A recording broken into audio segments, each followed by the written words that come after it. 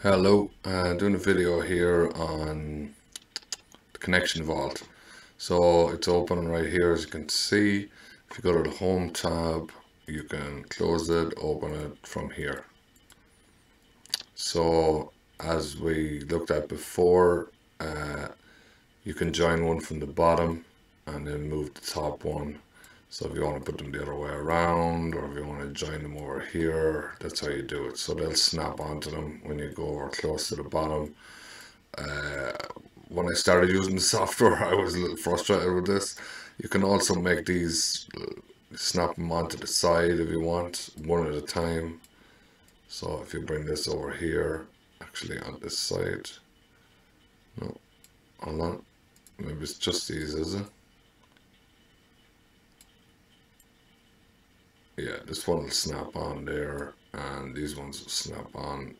Hmm, they're not snapping onto the top. All right. Anyway, I don't one. I don't want to snap them on there anyway. So we're going to come over here. We'll pull it out here a little so we can have a look at it.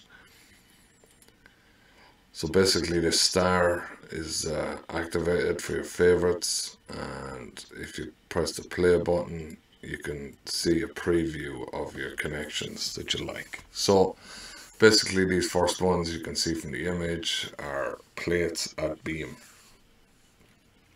So we'll want the base plate one, so if you hover over it, you can see a star comes over here, click on it, add to favorites. Pretty self-explanatory.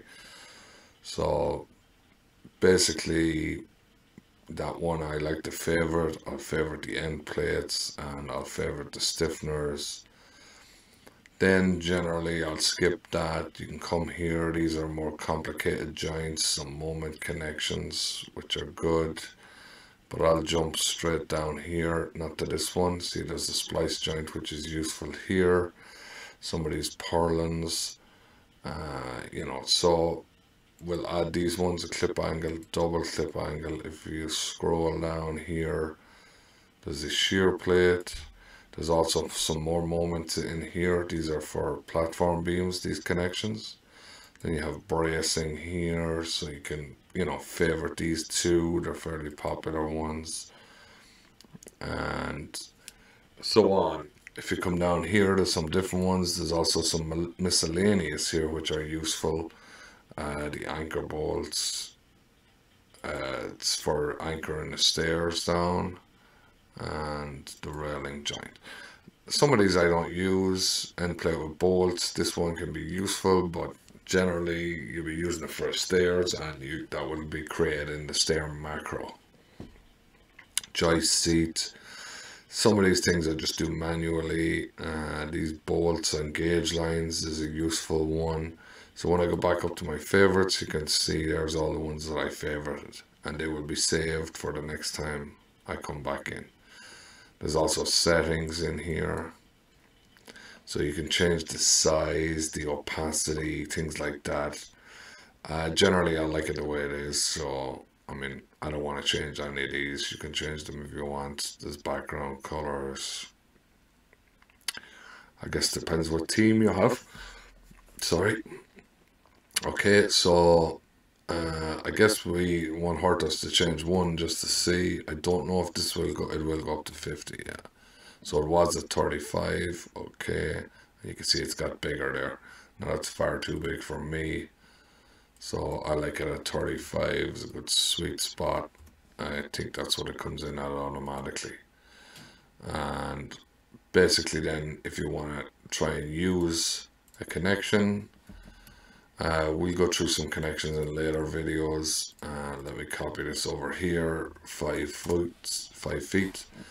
Uh, we'll zoom in and then we can pick. Um, I guess I didn't favorite those, did I not? Hmm.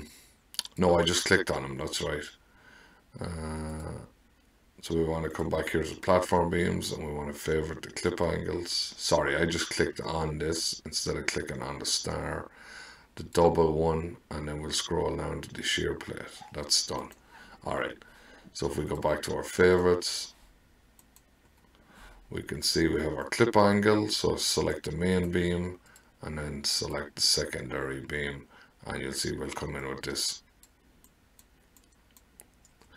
with this um, macro for changing all the elements here. So, I mean, you can do things like the bolts, you can change them to TC bolts.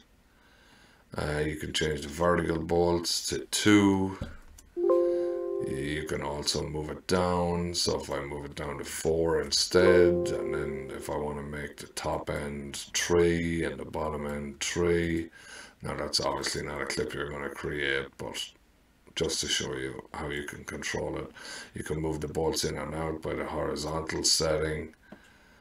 And, you know, it's basically the same thing then for the next one. If you want to do a double connection, select the main, the main beam, then the first secondary beam, and then the second secondary beam, I guess I'll call it, for argument's sake, and the same thing here.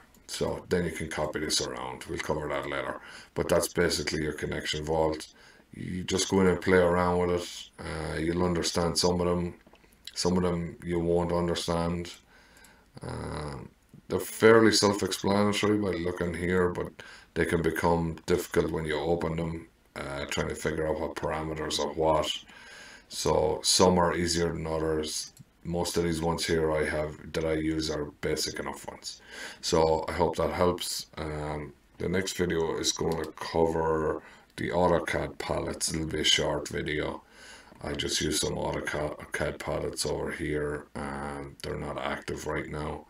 So uh, I'll see you in the next video. I hope these are useful and I'll try not to make them too long. Alright, take care. Thank you. Bye.